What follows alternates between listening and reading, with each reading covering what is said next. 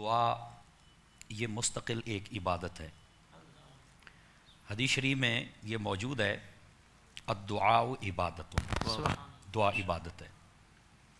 और कुरान मजीद बुरहान रशीद में खल्लाक आलम ने इरशाद फरमाया उजीब उदावत इज़ा दान फरमाया जब मुझसे कोई दुआ करने वाला माँगता है तो मैं उसे जवाब देता हूँ। और इसका आसान तर्जमा यह है जब कोई हमसे सवाल करता है तो हम अता फरमाते हैं। दूसरी जगह फरमाया उदऊनी अस्तजिब लकुम। ए बंदे तू मुझसे मांग मैं तुम्हें अता फरमाऊँगा। यहाँ पर दूसरी उलमा फरमाते बात ही कोई नहीं मांगने वाला मांगे। ओ पंजाबी च कहते खुली छुट्टी मांग सही एक मरतबा। और यहाँ पर अलामा मुफ्ती साहब किबला तशरीफ़ फरमा है कुरान मजीद में ये मुतलक आया है कोई हाँ। खास या खास नहीं है वक्त जगह। बस मांग हम तुम्हें अता फरमाए। बल्कि हदीस शरीफ में है फरमाया आना माहू इजादा आनी फरमाया जब कोई मुझसे माँगता है तो मैं उसके साथ होता हूँ। अल्लाह अल्लाह अल्लाह। उसको अल्लाह की रहमत की मैयत हासिल हो जाती है। तो दुआ मांगने वाले को सुस्ती से काम नहीं लेना चाहिए। बिल्कुल उसे दुआ मांगनी चाहिए और खुल खुला के दुआ मांगनी चाहिए। और फिर हदीस पाक में नबी पाक अलैहिस्सलाम ने यह भी इरशाद फरमाया फरमाया कि जब बलाएँ उतरती हैं दुआ करने वाले दुआ करें तो बलाएँ दफ़ा कर दी जाती हैं। बल्कि एक हदीस शरीफ मैं कल जब यहाँ से गया तो मैंने अहसनुल आदाब दुआ सैदी वसनदी आला हज़रत इमाम अहल सुन्नत मुजद्दद दीन मिल्लत अशाह इमाम अहमद रज़ा खान फाजिल बरेलवी तआला। आपके वालिद गिरामी सुभान। मौलाना नकी अली खान साहब अलैह। आपने लिखी उसके अंदर ये हदीस शरीफ मैंने पढ़ी तो मुझे बड़ी खुशी हुई। मैंने कहा चलो आज आपको सुनाऊँगा।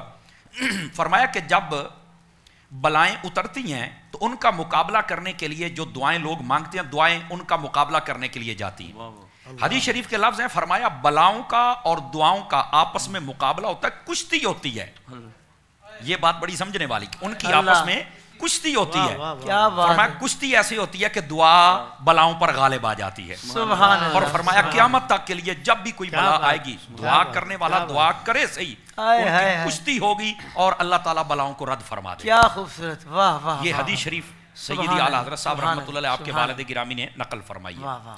तो दुआ के बड़े फजाइल है बल्कि यहाँ तक फरमाया ये दुआ इबादत का मगज है। मैं अपने नाजरीन आपने देखा होगा कई लोग ऐसे जो नमाज़ पढ़ते हैं ना इतनी जल्दी बार भागते हैं ना उनको समझ नहीं आती। हालाँकि एक रिवायत का मफहम है कि जो बंदा नमाज़ के बाद दुआ नहीं ना करता उसके ऊपर गजब किया जाता है। क्यों? इसलिए फरमाया कि अच्छा मजदूर वो होता है कि जब अपने आका का काम करे ना तो फिर वो उसे इनाम भी पाता है। तो फरमा अल्लाह। से बढ़ के बेहतरीन कौन है कायनात का मालिक खालिक? जब उसका काम पूरा किया है तो उससे कुछ मांगो तो सही ना? वाह वाह। वाह। दुनियादार ऐसे होते हैं जो महीने के बाद पैसे देने के लिए कहते हैं चलो ये तेरा पाँच हज़ार छह सौ सत्तर बना छह सौ सत्तर छोड़ दे पाँच हज़ार ले ले। ये हाँ। दुनियादार कहते हैं। लेकिन अल्लाह रब्बुल इज़्ज़त क्या फरमाता है? मांगने वाले मांग तो सही। तेरे मांगने का तरीका अल्फाज अंदाज छोटे हो सकते हैं। हमारी अताएँ तो हज़ारों गुना बढ़ सुभान अल्लाह सुभान अल्लाह तो आपने देखा होगा वो भाग जाते हैं। उनके बारे में उलमा फरमाते हैं कि वो जो उठ के भाग जाते हैं ना उनकी मिसाल बेवकूफ़ों की है। क्यों? मुफ्ती अहमद यार खान एमी लिखते हैं दुआ इबादत का मगज है। इबादत तो कर ली है मगज तो लिया नहीं उन्होंने। और मिसाल पता क्या देते हैं? कह रहे देखें बादाम है ना इसको तोड़ा जाए तो बीच में मगज निकलता है ऊपर छिलका होता है। ये वाटरमेलन ठीक है? इसको जब काटा जाता है ऊपर इसके छिलका होता है बीच में इसके मगज होता है। जी। अब कोई बंदा छिलके को तो अहमियत दे हम्म। और मगज ना खाए अकलमंद कहोगे बेवकूफ़ कहोगे। अल्लाह अल्लाह। ये बड़ी खास बात है। दुआ सिर्फ़ इबादत नहीं इबादत का मगज है। है तो इस वास्ते मैं अपने जितने भी महाफिल करने करवाने वाले लोग हैं ना वो भी ये गलती करते हैं। तवज्जो भी दिला दूँ और होता पता क्या अलामा साहब जब आखिर में मौलाना साहब दुआ करवाते हैं ना पीर साहब तो कहते हैं ए दुआ थोड़ी जी लम्मी कर छो हमारी पंजाबी में यह मसला पता नहीं यहाँ क्या होगा। दुआ लम्मी कर छो असी ना लंगर बनना है। अब दुआ जो है वो यकसुई के साथ मांगने वाली चीज़ है तवज्जो के जी, साथ इस पर भी हम कलाम करेंगे सुभान अल्लाह सुभान लेकिन होता क्या है? अब जो दुआ कर रहा है ना क्या वो दुआ करेगा? उसे तो सिर्फ़ ये है कि पता नहीं लंगर वाला शापर मेरे तक पहुंचेगा भी कि नहीं पहुंचेगा। न्याज मुझे मिलेगी कि नहीं मिलेगी? तो वो इधर उसकी तवज्जो है रब से कब मांगेगा? अल्लाह। आला हज़रत साहब रहमतुल्लाह के वालदे गिरामी फरमाते हैं दुआ करनी है ना जी। थोड़ी देर कर लो यकसुई के साथ यकसुई के साथ होनी चाहिए। तो ये दुआ करने के बहुत ज़्यादा फजाइल हैं। बल्कि नबी पाक ने इरशाद फरमाया ये जो दुआ है ना जी।